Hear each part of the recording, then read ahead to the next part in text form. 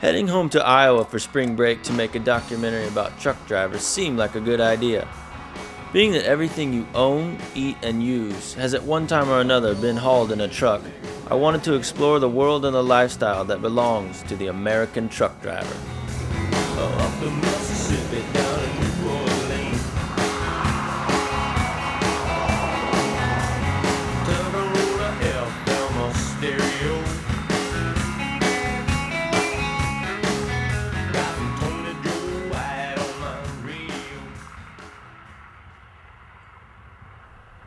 running into Chicago tonight.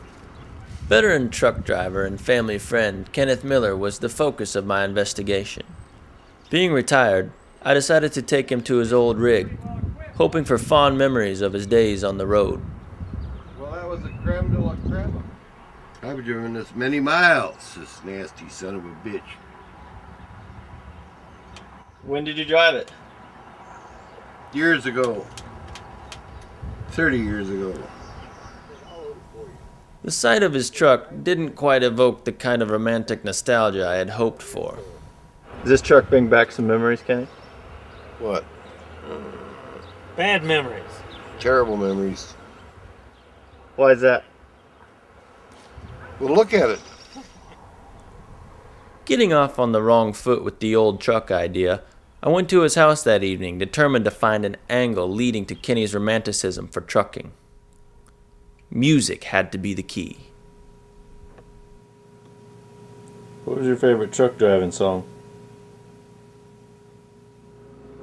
I did. Uh, truck driving was just a, a an opportunity to make money to me. I was not enthralled with the whole thing.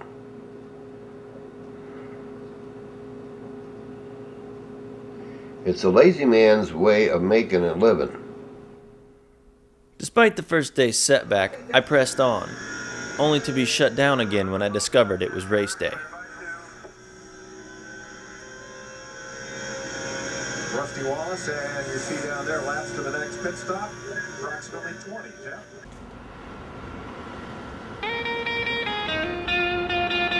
With difficulties on the home front, I arranged a little field trip to the Iowa 80 truck stop. Just off Interstate 80, the Iowa 80 is the largest truck stop in the world. I thought the venue might help Kenny get into the spirit a little more. Delia Moon Meyer, vice president of the Iowa 80 group, explains why truck stops are so vital to truckers.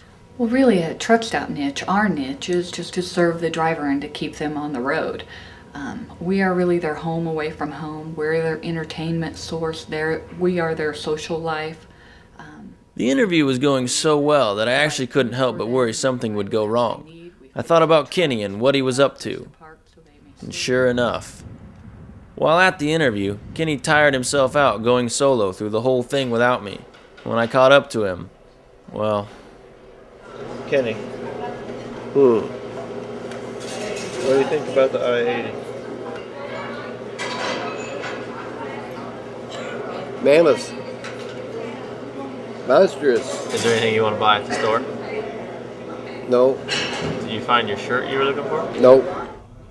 Now just hold on there a minute, Kenny. This isn't any old truck stop. This is the Iowa 80 truck stop, the largest truck stop ever built.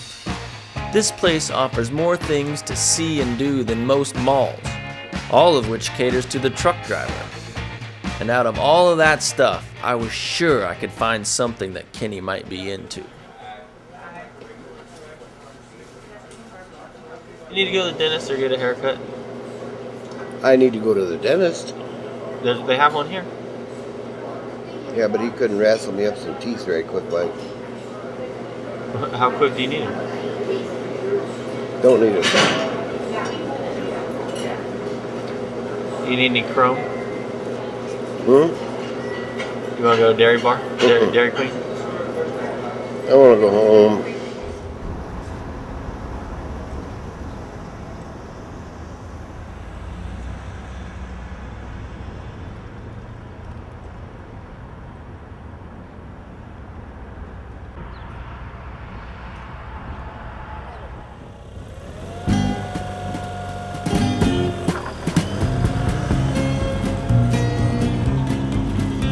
Me and and Earl was hauling chickens on. By day four. I was ecstatic to get Kenny doing anything remotely resembling truck driving, even if it was just mowing the grass. up on the Great Divide. We was sitting there sucking toothpicks. I even went so far as to try to draw a corollary between the two. I didn't get you in a truck, but I got you on the tractor. Well, grand. Well, it's a lawn tractor, is what it is. It's more than just a mower. You can put stuff on it. It's got hydraulic. You can put snow blades on it or a rototiller.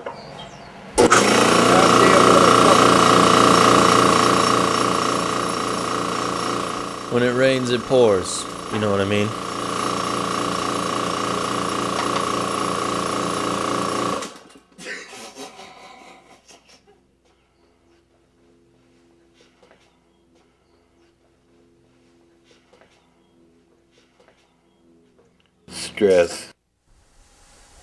Tell me about it.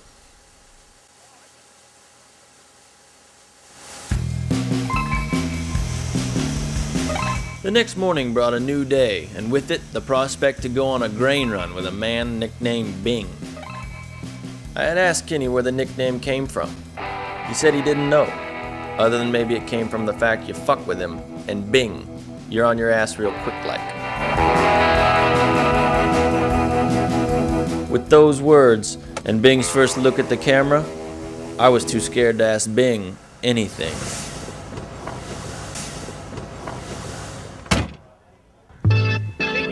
The next morning, I was back with Kenny. With the trucker documentary slipping away, I decided to try a new strategy, one that involved following Kenny around to his social engagements, letting him get comfortable, then sneaking in trucking questions as the opportunities arose. At an auction, a socializing hotspot for Kenny, I soon realized it wasn't items up for sale that grabbed his attention. She has a, a, a walrus type boyfriend that doesn't want her talking to anybody, especially me, because if it wasn't for me, well, let me tell you, if he'd die, her and I'd be in the sack in a minute. You hear, you hear what I'm saying? Loud and clear. I decided with Kenny at ease, it was time to strike. I gotta go down here, Chuck. Get away from this. Kenny, Get away from this. Madman. where are you going? I'm gonna look at the stuff.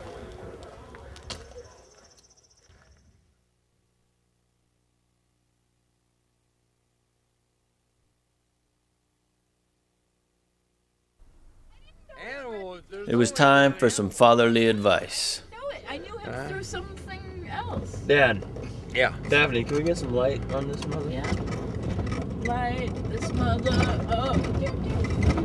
What, what are we doing? We need to talk about Kenny for a minute. What do you want to talk about Kenny? How long, have Kenny. you, known, how long have you known Kenny? Kenny and I go back 30 years. I don't think he likes me very well. Why do you say that? He always yells at me, telling me He yells at you because you stick that damn camera in his face. Hmm. Just about.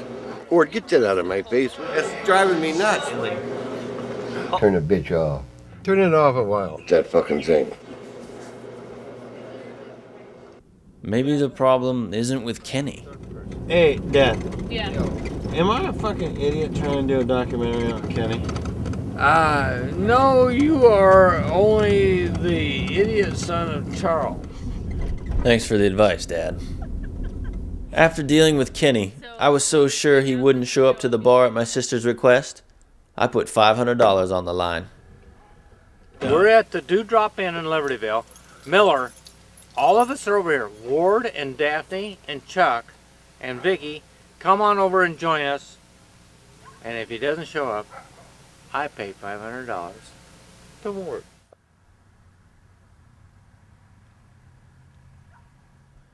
Well, you can guess what happened. Felt like he made it into the bar before I did. Oh, Christ. Miller, Miller, can I shake your hand? I need to shake your hand. I saved $500 because you came over here. Thanks a lot, You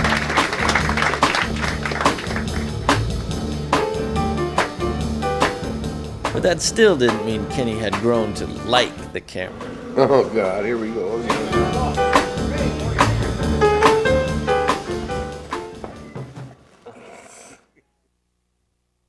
He only dated her once. You know, not everything works out the way you plan. Even documentaries about truck drivers. There will always be room for improvement, and even a little space for one last try. So, if there's not, you got nothing else you want to say about truck driving and your amazing experience? I'm sure happy it's done. Over with. Finished. Complete. I don't want to see one even. I don't want to hear him.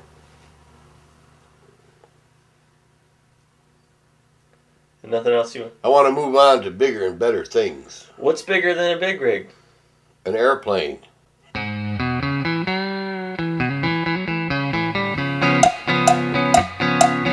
That in your face all day today? Yes, I see It's it. togetherness, buddy. I hear you.